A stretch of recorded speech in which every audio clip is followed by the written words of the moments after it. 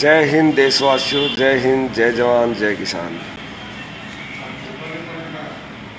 जो जो साथी फेसबुक से जुड़े हैं, उनसे अनुरोध है कि आज आप वीडियो को अच्छे से सुने और शेयर ज़रूर करते रहें। क्योंकि आज मेरी ज़िंदगी और मौत जो दांव पे लगा दी है बीजेपी ने। सभी को जय हिंद।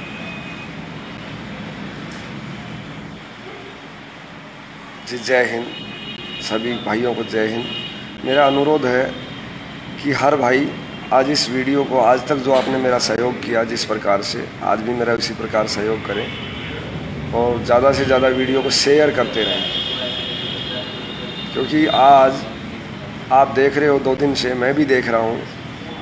टीवी चैनलों पे चलाया जा रहा है, क्या चलाया जा रहा है, आपको पता ही होगा।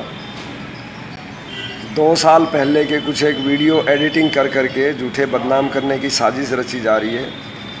और मेरे ऊपर झूठे मुकदमे इस तरह की चीज़ें। लेकिन मैं आपके सभी के माध्यम से यहाँ पर न्यूज़ चैनल बहुत से आए। मेरे से बाइट ले गए, न्यूज़ चैनल सब ले गए, लेकिन कोई भी न्यूज़ चैनल दिखा नहीं रहा। क्योंकि सारे के सारे बीजेपी इतनी एक्टिव हो गई है। आप सब अच्छी तरह जानते हो कि किस प्रकार से धोखाधड़ी करके और कानून की धज्जियाँ उड़ा के मेरा पर्चा निरस्त करवाया। लेकिन फिर भी मैंने हिम्मत नहीं रही और मैंने कसम खाई कि मैं महाराष्ट्र की धरती पर ही रहकर मोदी जी के खिलाफ चुनाव प्रचार करूँगा, पूरे पूर्वांचल में करूँगा। और जब तीन चार दिन के कैंपन के अंदर बीजेपी को लगा कि हम पूर्वांचल से हार रहे हैं तो उन्होंने मेरे खिलाफ नई साजिश रची। और जैसे ही मैं कल सुप्रीम कोर्ट गया उसके बाद ताबड़तोड़ मेरे खिलाफ मीडिया पे चलवाया जा रहा है, बहुत सी चीज़ें चलवाई जा रही हैं। मैं आप सभी के सामने आने का मकसद क्या है कि अब बहुत जल्द मेरे और मेरे परिवार की बीजेपी की तरफ़ से हत्या कराई जाएगी।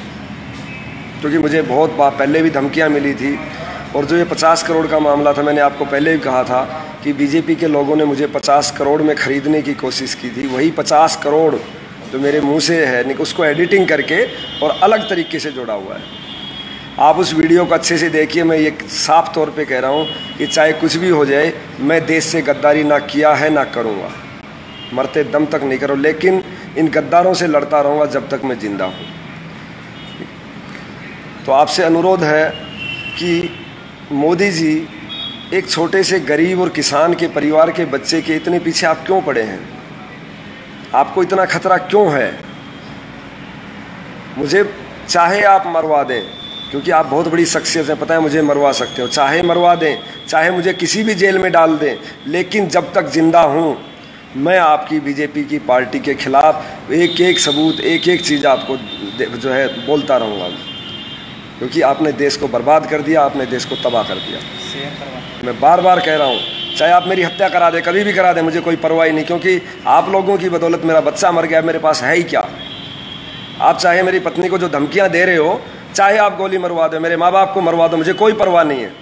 लेकिन जब तक मेरी सांस है, मैं आज़ाद हिंद फौज के परिवार से हूँ, जिनको इतने बड़े बड़े सम्मान मिले हुए हैं, उस परिवार का खून हूँ, मैं आपसे डर के पीछे नहीं भागूँगा। चाहे कुछ भी हो जाए मेरी। जब तक मेरी सांस है, मैं लड़ता रहूँगा। जितने भी मेरे फेसबुक में साथी भाई जो जुड़े हैं, उनसे अनुरोध है कि मेरा ये वीडियो हर जगह शेयर ज़रूर करो, ताकि बीजेपी को पता लग जाए, क्योंकि आज मीडिया चैनल मेरी सपोर्ट नहीं कर रहे हैं। और बार बार बार बार मेरी हत्या की साजिश रची जा रही है।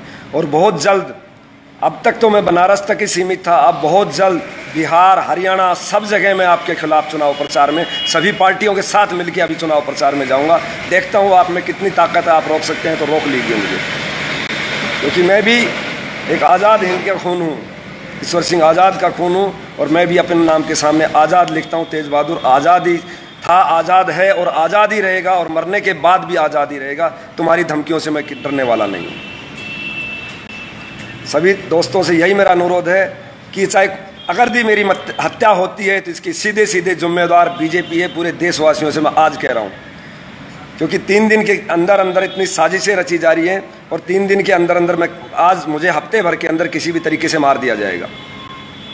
आप सभी का मुझे सहयोग चाहिए। आज मैं आप सभी लोगों के भरोसे, ये नहीं चाहते, ये कोई नहीं चाहेंगे, यही नहीं, कोई नहीं चाहेगा कि तेज बहादुर जैसा एक गरीब किसान मजदूर का बेटा इनके सामने खड़ा हो। ये नहीं चाहते कभी भी। आज तक आपने देखा होगा, ये सामंतवादी ताकतें, जो भी गरीब दलित मजदूर का बेटा जब भी इनके सामने होने की कोशिश किया, इन्होंने उस हत्या कराई है। उनको अलग किस चीज़ में फंसाया गया। आज तक क्या इतिहास रहा, आज भी यही हो रहा है मेरे साथ में। ये सामंतवादी ताकतों को मैं चैलेंज करता हूँ कि आज देश की 90 परसेंट पब्लिक गरीब, दलित, मजदूर, ओबीसी सब आज मेरे साथ खड़ा हुआ है। आप जो करना चाहिए कर ले। अगर दी तुम एक तेज बहादुर को मारोगे तो करोड़ों तेज बहादुर आपके सामने खड़े होंगे। इसी के साथ जय हिंद, जय जवान, जय किसान। लेकिन वीडियो को हर जगह शेयर ज़रूर करें और आप मेरा सहयोग करें। इसी के साथ जय हिंद, जय जवान, जय किसान।